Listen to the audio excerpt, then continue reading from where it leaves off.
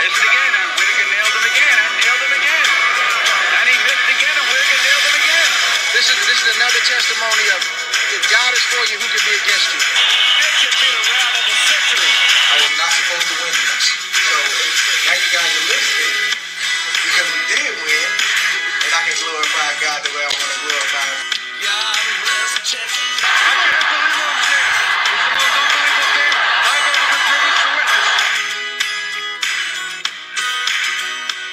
Welcome, welcome, welcome to another episode of 3D Boxing Podcast. It is good to be back. We got a fun show today. Uh, we're going to get into uh, Jaime Munguia and the reaction, an overreaction to his good win yesterday over Gabe Rosado, a 12 round unanimous decision. Uh, but before we do that, please like and subscribe, share on all forms of social media. 3D Boxing, uh, Quick Hits comes at you uh, comes at you every day, eight ten minutes a day to keep you up to date on the latest, greatest boxing news and rumors. Um, also, subscribe to the other channel, Texas Boxing Scene on YouTube. All proceeds go to Autism Research and Recovery. Completely dedicated to Texas boxing. Goes uh, everything goes to Autism Research and Recovery. So please help us uh, monetize that channel, get it up and running. Uh, all right, let's get into today's show. Um, Jaime Munguia. Um, you know, everyone's out there saying it's the best performance of his of his career, and, and that's fine. You know, um, save the Sadam Ali fight, but this is against somebody you know more his own size. Um, it was a it was a good performance. Um, he beat Gabe, beat him up. Um, Gabe landed a ton of shots, but you know, uh, Munguia's work rate, and punch output was was tremendous. Um, uh, and people are saying now it's a lot more interesting with him. Um, based on this performance in, in the past of what we thought with Munguia. And, and I, I still don't think he beats anyone, um, any of the top 160 pounders. I, I, I don't see that personally. Um, 160, there's some good fighters in it. Uh, you know, I, I don't know if they're going to put him with Golovkin next, but that's an idea. Um, it's a bad idea for for, for Golovkin. Uh, for for Munguia, Golovkin would, would destroy him. He still gets hit way too much. We're going to get into some of the things that some some of the flaws that I see in Munguia. Um, you know, uh, you know, the other names in, that division, um, Charlo, he's not beating Charlo. Lara, he's not beating Lara. Chris Eubank Jr., that's an interesting one. Uh, Demetrius Andrade, now Andrade outboxes him. Uh, Liam Williams beats him up. Um, I, am sorry, not Liam. No, he could beat Liam Williams. I'm sorry. Um, he could beat Liam Williams. I'm just look, looking at some of the other names, uh, top names at 160, uh, and you know those names right there. Uh, uh, Gennady Golovkin knocks him out. Um, Charlo beats him up. Lara outboxes him. Eubank Jr. Uh, uh, and then Andrade beats him up. Uh, Andrade would outbox him. Um, look, look, there's a lot to like about Munguia. Um, he's fun. He throws a lot of punches. He he comes forward. Not enough though. Um, you know, he's always going to be in a fun fight. And when he beats Gabe, and he beat up Gabe pretty good, although Gabe was game, Gabe was tough. Gabe won some rounds. Uh, it was a good fight. Um, people are going to have this overreaction. And first of all, I want to get into that too. This was not the fight of the year. I, on Twitter, I tweeted out there were at least four fights just off the top of my head, to, top of dome, that were a better fight. You you have um, Tank and ba- Barrios was a better fight. You have Wilder Fury three was a better fight. Chuck Chocolatito with Estrada two was a better fight, and then um, Valdez and and Berchelt was a better fight. But this was a good fight. You know, it's not fight of the year, not even close, but it was a really fun fight.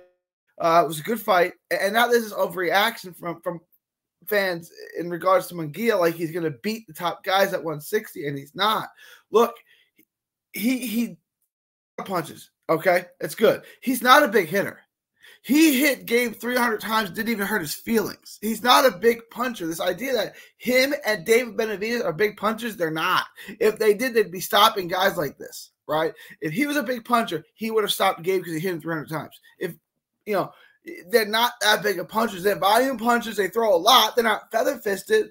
They're not Billy Joe Saunders in there, but they're not big hitters. If they were, I mean, these fights wouldn't go that long. Um, he's also look, he Munguia's footwork is still really slow. He he's not outboxing Erislandy Lara. He's not going to get in and, and, and, beat down Lara. Lara is going to move, hit him with the left hand, keep circling, hit him with the left hand, and it's going to be a bloodbath. Right? He's not at that level, although he's a fun fighter to watch. He'll sell more tickets than Lara, but he can't beat Lara. Um,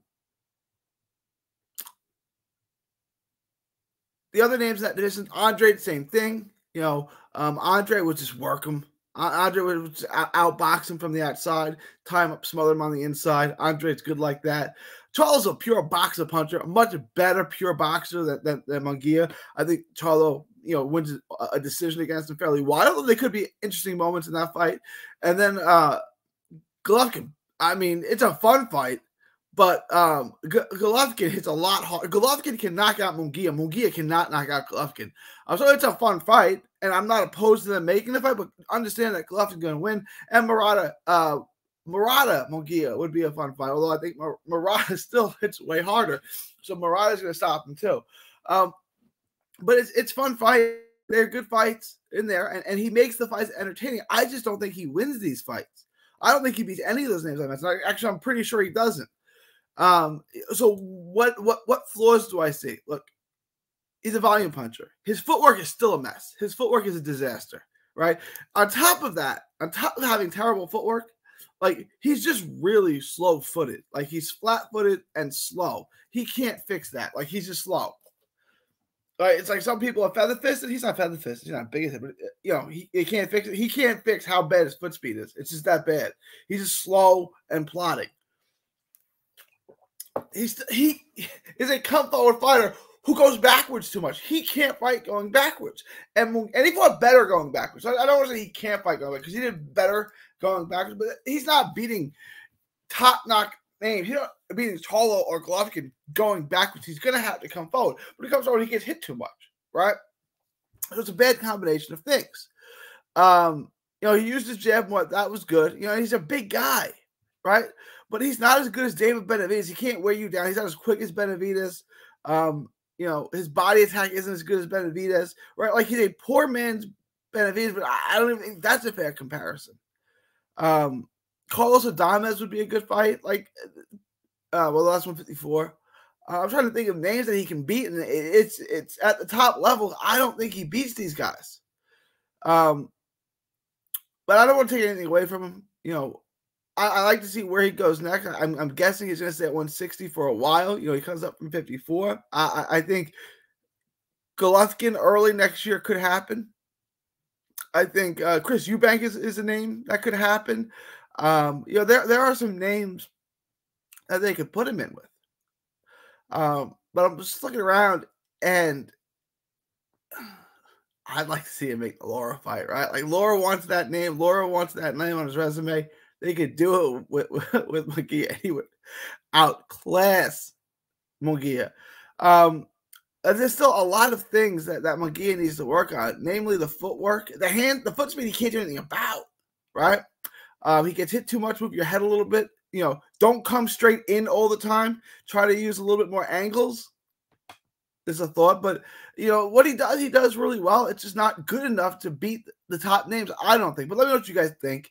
I'm not saying it wasn't his best performance. It was a good performance. It was it was probably the best performance of his career, given the level of opposition. The only other one we can talk about is Sam Ali. Um, let me know what you guys think. Leave your thoughts, comments below. Please like and subscribe, share on all forms of social media. Also, subscribe to the other channel, Texas Boxing Scene, on YouTube. Um, all proceeds go to autism research and recovery, so it's near and dear to our heart. It is November 14th, 2021. Ivan Calderon is still in the Boxing Hall of Fame. Let's make that change. Let's get the Iron Boy in. Uh, from Texas to the world, thank you and God bless.